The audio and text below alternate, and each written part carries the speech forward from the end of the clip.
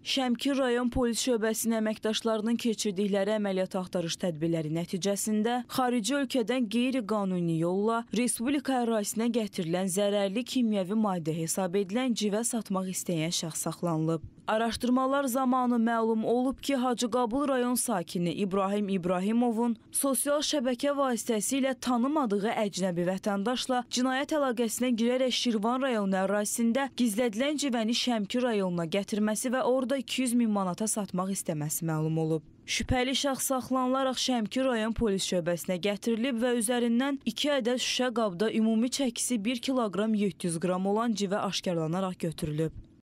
Ağ şəffaf salxana bükülü vəziyyətdə getdim oradan götürdüm, qoydum maşına. Ondan sonra da 4 gün maşında fırladım bunu.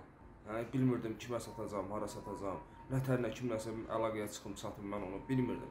Yəni bu boyda məsuliyyət daşıdığımı mən bilmirdim. Onun bu cür təhlükəli bir şey olmağı. Aşkar edilən maddi sübut müvafiq ekspertizaya təqdim edilib, faktla bağlı araşdırmalar davam etdirilir.